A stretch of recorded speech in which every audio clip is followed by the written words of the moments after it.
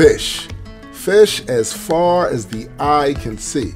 But I know the question that all of you ask day in and day out. The burning question that keeps you up all night. What are fish?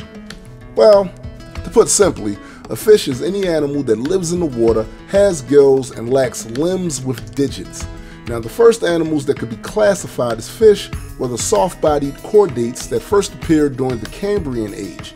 And even though they lack a true spine, they possess notochords, a material that's similar to cartilage, which allowed them to be a bit more agile than their invertebrate counterparts.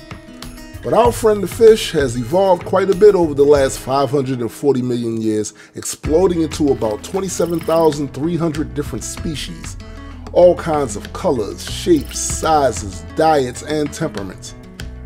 Largest fish on Earth is the whale shark, which can grow to be more than 50 feet in length and weigh several tons.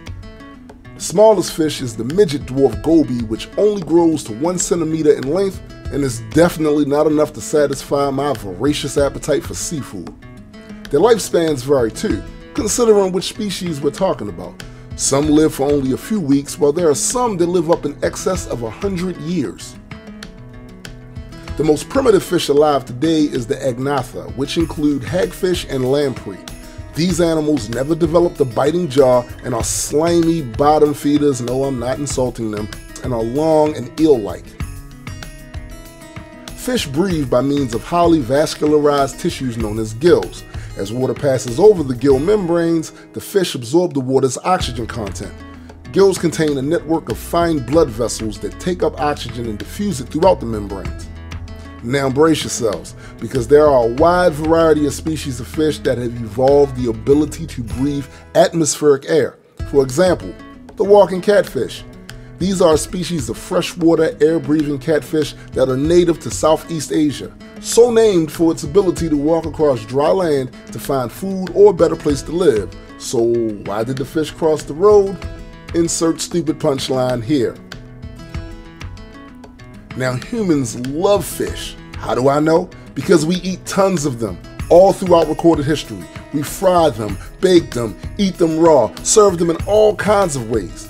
In 2009, which is the last available data on the subject, Americans alone consumed roughly 4.8 billion tons of seafood.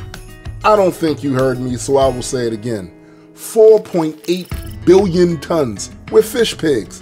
And because of that, fish contribute greatly to the global economy. Let me give you an example. Let's talk about tuna, just tuna.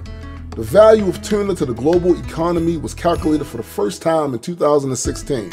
And according to the first assessment, its value is $42 billion annually to the global economy, which, by the way, is more than the gross national product of 108 of the world's countries. So, yeah, big bucks.